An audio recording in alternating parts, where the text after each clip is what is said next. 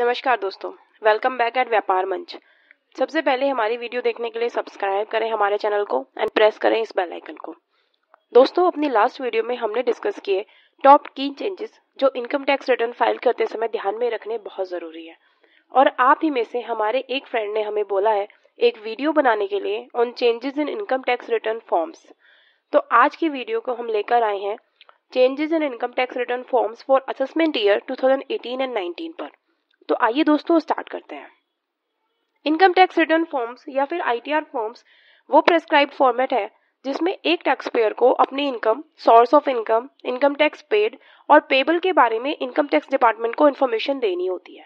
हर एक tax payer की income source of income या नेचर ऑफ़ इनकम दूसरे टैक्स पेयर से अलग होती है। इसीलिए सब टैक्स पेयर एक फॉर्म में अपनी इन्फॉर्मेशन नहीं दे सकते।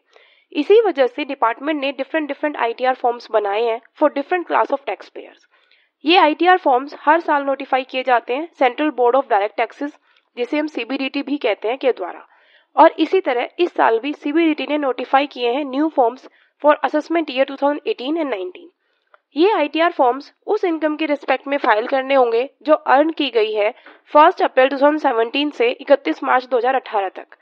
इन न्यू फॉर्म्स में काफ़ी चेंजेस किए गए हैं। कुछ शेड्यूल्स को मॉडिफाई किया गया है, कुछ न्यू शेड्यूल्स ऐड किए गए हैं। इस बार के आईटीआर फॉर्म्स टैक्स पेयर से ज़्यादा इन्फॉर्मेशन की डिमांड कर रहे हैं। सीधा मकसद है ज़्यादा से ज़्यादा ट्रांसपेरेंसी लाना। लास्ट ईयर के मुकाबले इस बार के फॉर्म्स में 25 से भी ज़्यादा चेंजेस हैं। आज की वीडियो में हम टॉप 10 चेंजेस के बारे में बात करेंगे। तो चलिए दोस्तों स्टार्ट करते हैं। दोस्तों I T R one income tax return का सबसे ईजी फॉर्म है। I T R one file किया जाता है एक इंडिविजुअल टैक्स पेयर के द्वारा जो इनकम अर्न करता है सैलरी से या पेंशन से, एक हाउस प्रॉपर्टी से and other sources of income से. एंड उसकी एनुअल टैक्सेबल इनकम जो है, वो पचास लाख से ज़्यादा नहीं होनी चाहिए। इस साल से, इस फॉर्म में आपको आपकी सैलरी का ब्रेकअप भी देना होगा। अभी तक सैलरी का ब्रेकअप सिर्फ़ फॉर्म 16 में होता था। आईटीआर वन में सैलरी का ब्रेकअप नहीं जाता था। And second change in ITR one है कि आपको अपनी इनकम फ्रॉम हाउस प्रॉपर्टी का भी ब्रेकअप देना होगा। पहले सिर्फ़ एक फिगर जाती थी बट इस साल से सैलरी एंड हाउस प्रॉपर्टी दोनों की डिटेल्ड कैलकुलेशन आईटीआर वन में देनी होगी। दोस्तों नेक्स्ट चेंज आता है। दूसरा जो मेजर चेंज है, वो है कि आईटीआर वन फॉर्म को नॉन रेजिडेंट्स के लिए विड्रॉ कर लिया गया है। अब नॉन रेजिडेंट्स को आईटीआर टू या आईटीआर थ्री में अपनी रिटर्न भरनी होगी फॉर असेसमेंट ईयर 2018 एंड 19 दोस्तों थर्ड आता है, वो टैक्स पेयर्स जो प्रिजम्पटिव टैक्सेशन स्कीम ऑप्ट करते हैं अंडर सेक्शन 44 एडी 44 एडीए और 44 एई उन्हें अपने बुक्स ऑफ़ अकाउंट्स मेंटेन करने की ज़रूरत नहीं होती। एंड उन्हें अपने income tax return form I T R four में फ़ाइल करनी होती है। पुराने आई टी आर फॉर्म में सिर्फ़ फोर फाइनेंशियल पर्टिकुलर्स जाते थे बिज़नेस के। Total creditors total debtors total stock in trade and cash balance but new I T R four form में 14 financial particulars of business fill करने होंगे such as amount of secured and unsecured loans advances fix assets capital accounts etcetera तो अब ITR form में additional details देनी होंगी tax pair को। Fourth change जो आता है फोर्थ चेंज है। न्यू आईटीआर फोर फॉर्म में टैक्स पेयर को GSTR number and aggregate turnover जो उसने अपने जीएसटी रिटर्न में दी है, वो भरनी होगी।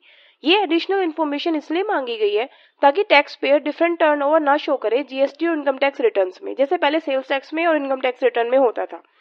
अगर जीएसटी रिटर्न एंड आईटीआर में मेंशन टर्नओवर में डिफरेंस हुआ तो प्रिजम्ड स्कीम ऑप्ट करने वाले टैक्स पेयर को डिपार्टमेंट से नोटिस आ जाएगा।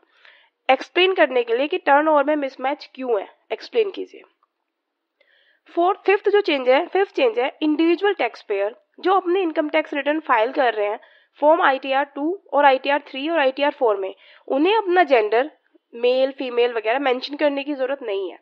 अब जेंडर का कॉलम इन फॉर्म्स में से रिमूव कर लिया गया है। सिक्स जो चेंज आता है, वो आता है जीएसटी एक्ट के आने के बाद। नए आईटीआर फॉर्म्स में कुछ न्यू कॉलम्स ऐड कर दिए गए हैं।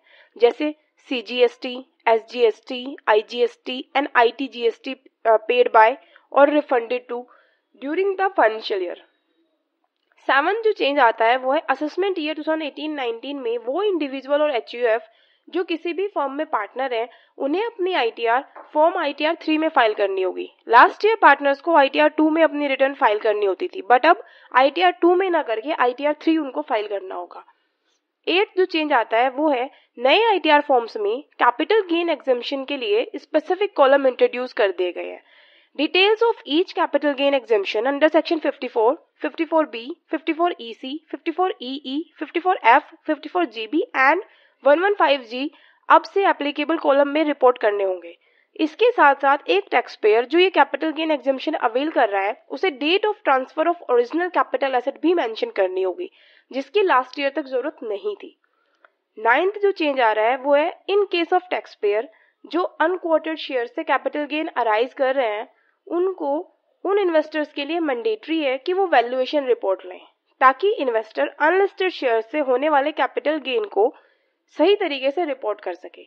नए आईटीआर फॉर्म में टैक्स पेयर को एक्चुअल सेल कंसिडरेशन की फिगर देनी होगी एंड एफ़ एम भी एफ़ भी देना होगा fair market value as determined by merchant banker और सीए वो मेंशन करना होगा। जो टेंथ आता है टेंथ है new ITR form form two form three form four form five form six and form seven में नॉन रेजिडेंट्स अपना एक फॉरेन बैंक अकाउंट की डिटेल फिल कर सकते हैं for the purpose of income tax refund तो दोस्तों, आज हमने डिस्कस की टॉप टेन की चेंजेस जो आईटीआर फॉर्म्स में आए हैं। उम्मीद करते हैं कि आज की वीडियो से आपको लाभ मिलेगा एंड आपको वीडियो पसंद आई होगी। तो इस वीडियो को ज़्यादा से ज़्यादा लाइक एंड शेयर करिए। और हाँ अगर आपने अभी तक हमारे चैनल को सब्सक्राइब नहीं किया है तो जल्दी से सब्सक्राइब कर दीजिए। Thank you